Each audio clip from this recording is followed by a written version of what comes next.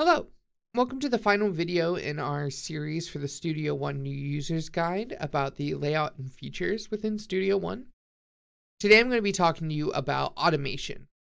Um, automation is a really fantastic tool to make your music and even your podcasts much more dynamic and, and making changes over time and, and, and giving things more shape and more color, right? Basically automation is pretty simple um, to to understand. It's basically changing a parameter over time. So what that means, um, I have the example uh, song that we've been looking at so far. So taking a look at the end of this song, you'll notice how it all fades out, right? Um, and you'll even see here the the um, fader for the, the main volume channel went down to zero. That's because I automated it to, to send everything down to zero. Even though there's all this music here, none of it's going through through the main channel. So how I did that, Studio One makes automation really simple. Um, and that's one of the, the biggest features and biggest points for Studio One. Um, is is just how simple it makes automation. It's really quite nice all you have to do is basically, I'm going to touch this knob.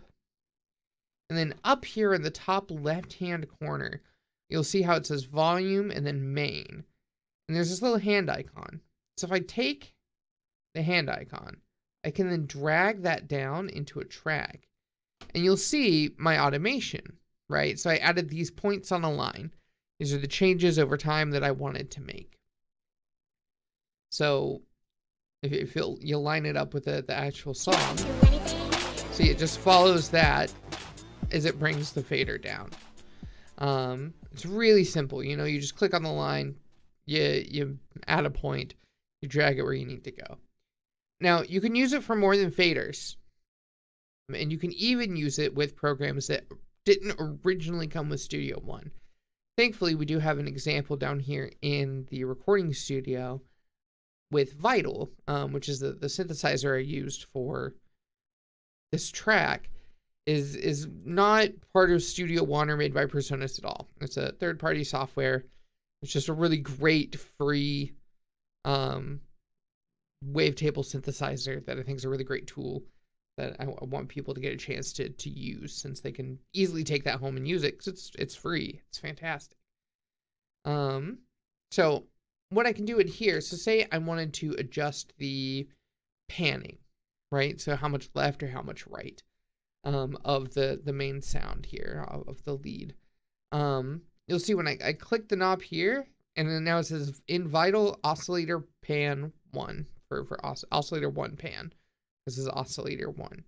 Um, if you don't understand what an oscillator is, don't worry about it. Uh, just know it's a parameter within the synthesizer.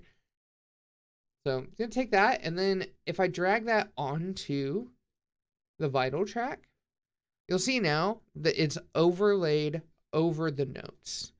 So say I wanted to do something kind of silly. And I wanted to have these notes alternate between left and right for each note. So I could set, generally you want to set the two points that I want to set when I'm when you want to make a, a more square shape, and you set one point beyond, otherwise it's going to move the whole line. I'll show you what that looks like. So if I just did these two and then selected them, it would just move the whole line down, which is not what I want to do. But if I set a third point here, I can go control click or shift click, sorry, and then drag these two down. And then I can move this over to here.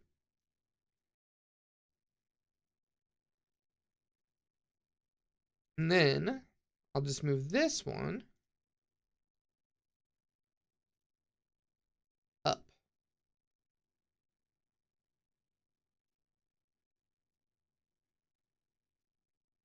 And then if I just take that and I if I just drag and select all those points,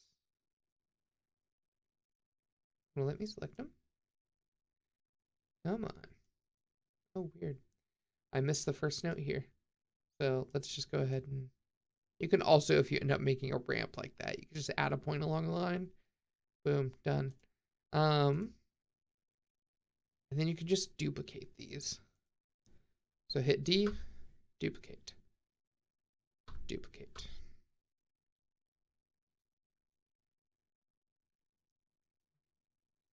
So automation is is one of those things that it can be I wouldn't say finicky, but it's much more detail oriented. And I want to give you enough of an example here so you can see what this would sound like. So these first three bars, great.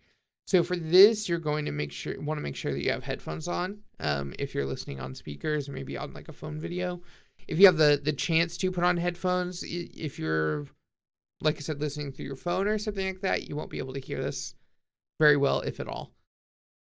But I'll go ahead and play it for you. So.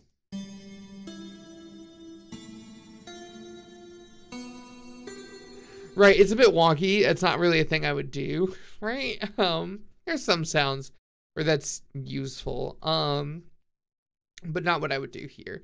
Um, but you see, it's, it's just as easy as dragging points on the line. And I can do that for any parameter in anything. Um, I have I have yet to, in all my experience with Studio One, run into a parameter that I can't automate. You, you just simply select the knob and drag it into the automation channel. It's just that easy. Um, there's so many different things that you can do with this. It really, you know, it depends. Um, an, another example from this song of another piece of automation that I did um, was actually a delay effect. So delays they create, um, they basically repeat the sound that was just previously played. Um, and there's a lot of that here, right? So you have the Have you ever had a dream? Dreams, dreams, dreams, dreams, right?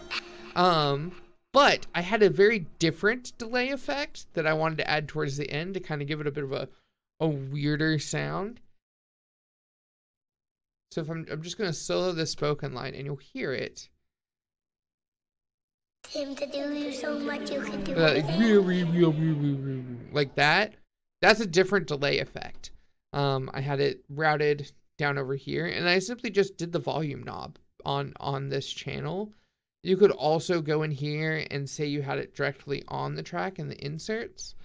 Um, you could move the, the dry wet, right? Which is pretty similar. Dry is the sound without the effect, and wet is the sound with the effect. This is the percentage of, of the effect that's wet. Mm, So that's that's what that means. And so what I did is I just automated it. I wanted it to come in kind of towards when the song was wrapping up.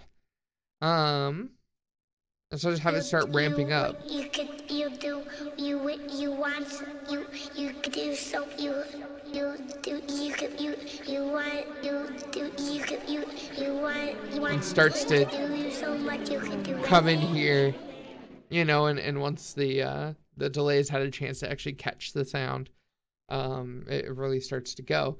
And it's just a it's just a small flavor, right? It, it's you don't it doesn't take over the whole sound, right?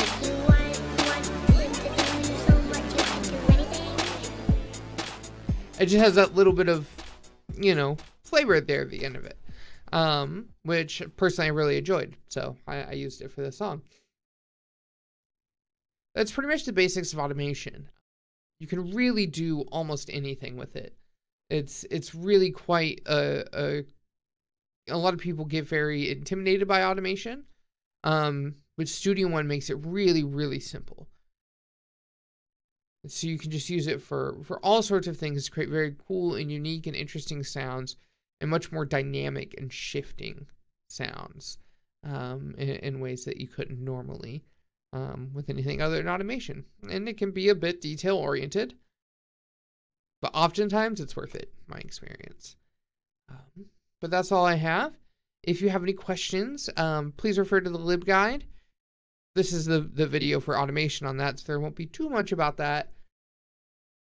But if you want to mess around with it, you can come down to the recording studio and ask just one of the recording studio staff. Any of us would be more than happy to help you out. Um, thank you so much, and I hope you have a good rest of your day.